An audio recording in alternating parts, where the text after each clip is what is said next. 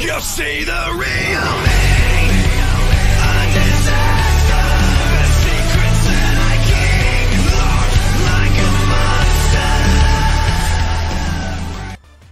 Hey everyone and welcome to Darkson Gaming. My name is Chris and in today's video we're going to be talking about Pettan Battle and how you can utilize it to maximize your units and be able to get the most out of everything that you can get. So, before we go ahead and jump in, if you haven't done so already, make sure you guys go down hit that red subscribe button and don't forget that notification bell so you're notified of each and every video that I'm uploading. And then also, if you like today's video, don't forget that thumbs up because it definitely helps out the channel, helps out the video, and makes sure more people understand how to play Pettan Battle better. So, Going into the Pettan battle, you have the decision between going through training items, Zeni, awakening medals, or potential orbs. Obviously, most people want the potential orbs, so that's going to be what we jump into. Now, from here, we can take a look that you could see that you have two normal levels, a hard, Z hard, and a super, and then each one has a specific type of enemy that you can actually go into it.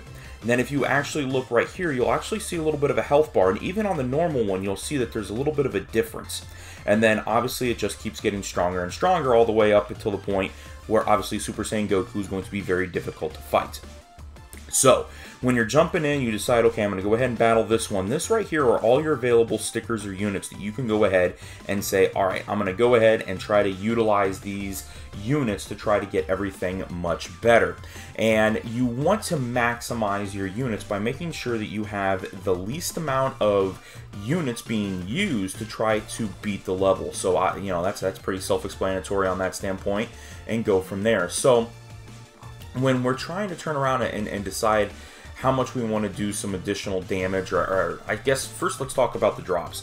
Because you can actually turn around and get additional drops when when going against enemies by using other specific enemies in order to help it out from the uh, collection. So in, in, this particular one with Burter um, which before I start on that too a huge shout out to uh, uh, the Dokkan Wiki because Dokkan Wiki has all this information that's on there. So if you have any questions, you can go ahead and jump on. Um, but usually you have to actually start off on something that's going to be a little bit harder. So we'll actually go into the hard mode uh, in order to get this. So this Guldo right here, if you actually have Krillin, that is this one right here, you can actually get some additional damage dealing against him. Uh, and then there's also ways you could get additional damage dealt if you have the, let me make sure this is the right one though. It says number 23. If you actually click on the card, yep, it'll tell you which uh, number it is. So number 23, that Krillin will be able to do additional damage against him. Now, that alone doesn't do anything with it. You're going to want to try to get some more units to go against him to be able to help out. And you can do that by actually having team-ups going through when you're trying to find, you know, the best group to be able to sit there and say, okay, who, who can help with this the best? So if you actually turn around and throw him down, and then able to turn around and throw on uh, Bulma. And then, uh, let's see here, you could also do a Kid Goku, but I don't seem to be able to have them. But as you can see, I'm not really getting it down any further, so we might need some additional help from here. So because he's tech, you want to try to find some uh, uh, intelligence to go against him, which I that, that right there is the only intelligence one I can't get it, but we're going to probably have to turn around and use uh, another unit to be able to kind of help out in defeating uh, Guldo. So we're going to just, whoops, jump in, try to get, man, none of these guys are dropping down. There we go. We start seeing some drop downs here. And there, we're going to use three units. Uh, want to try to actually get some of those additional drops. So we want, ah, you know what, we'll go ahead and do this just because I'm using that extra one because he's able to turn around and get the additional drop. So we'll go ahead and basically utilize him and then have that go. So you can see up here, hour and 25 minutes in order to go ahead and beat him. Now, if we actually jump in and try to take on full power Frieza, uh, again, from here, we want to be able to do some uh, additional damage on them. So we're going to find out. I don't know if you can click on. No, you can't click on them. Okay, so from here, we're going to want to turn around and say, okay, let's find out the uh, best unit to be able to, to deal some additional damage onto them. Uh, let's see here, and some additional drops. Uh, let's see here. Just so you guys are seeing on the Dokkan Wiki, we'll actually come over here and take a look at it. Dokkan Wiki, great page. So additional drops, additional damage, and this is where I was talking about that you can actually go through and try to locate. So we're going against full power Frieza, so we want to try to locate that full power Frieza right there. So really you would need to have Super Saiyan Goku, which I do not have one of those right now at this time. So I'm not able to do that. Let's see here if I've got anything that could take on Goku. Because he was the other one. Uh, let's see here. I do have a full power or no, I'm sorry, I have this final form Frieza right here. Uh, so he would be able to get me some additional boost there. So we will go ahead and throw him on there. And then, uh, again, we can try to find some maximization on units. Uh, let's see. Gotta find... There we go. So we're going to use 5 with a boost. So hopefully this is going to work out. When you actually go into the battle, as we get everything to load up here, you're going to notice that as they start fighting, I'm not having anybody that is having any type of extra boost. I mean, this right here is the first unit that's actually fighting. It's going to take me 52 minutes. I'm actually getting type advantage there because he's a tech, and that's why you're going to see the little stars like he's stunned, so that's going to be beneficial on that.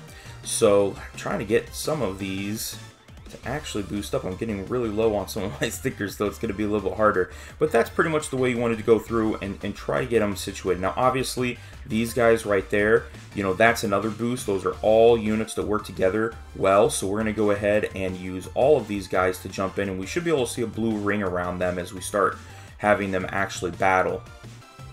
And uh, see right there, you can see the blue rings on them. And I don't, I didn't think they had to be next to each other, but I think we're, what we're missing on here is the Goku to make sure that everybody is is powering up on that standpoint. Um, so hopefully here that'll work out. Again, you'll see him, he's getting uh, the stars, and then we're going to have some time on that standpoint. But once you're actually done collecting them, uh, then you're actually going to be able to go in, pull up the units, and you should be fine from that standpoint. Uh, so hopefully this helps you out. Uh, going through, oh wait, we don't want to back out because if you back out, you, you can only do one type of level at a time. But the good thing is that you have an hour cooldown after you win. So you're able to turn around and kind of wait and make a decision on how you want to uh, be able to approach it. Uh, so going in with this guy, we're going to try to, I don't think he's going to have anything. We'll go back into here, go to the additional damage, scroll down, and I don't remember seeing that guy on the list that you could deal additional damage to. No, so you can't use anything for him. Uh, I'm sorry, for the additional drops, not additional drops right there. Maybe? Okay, there we go. Alright, we'll scroll down.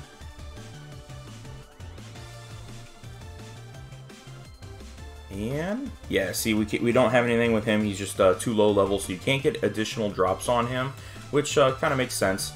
We will go back in here to the additional damage. And then from here, we should be able to find some people that'll be able to help out. So I do have a Zarbon, but I don't know if I have anybody that's going to be able to boost with Zarbon. Uh, let's see here. Super... Oh, no, that's not Super Zarbon. Where is he? Uh, no, it doesn't look like Super Zarbon's got anybody that can actually mix with him. So we'll go down here. Let's see here, not the Goku. Is there anybody with... I think all my guys are too low a level that I currently have without having the main person to be able to boost them. That right there is that Tien and Chaozu that's there. So it doesn't look like we have the any of the main units that I could be able to turn around and and boost damage on it for right now, but that's okay. We'll, we'll try to get those uh, figured out later on. Uh, but hopefully that has helped you out, helped you figure out exactly how Pettan Battle works. And uh, otherwise, that's it. That's today's video. I want to thank you guys very much for watching, and make sure you go down in the comments below and let me know what you guys think about it. Uh, but otherwise, that's it. Thank you very much. We'll talk to you guys later.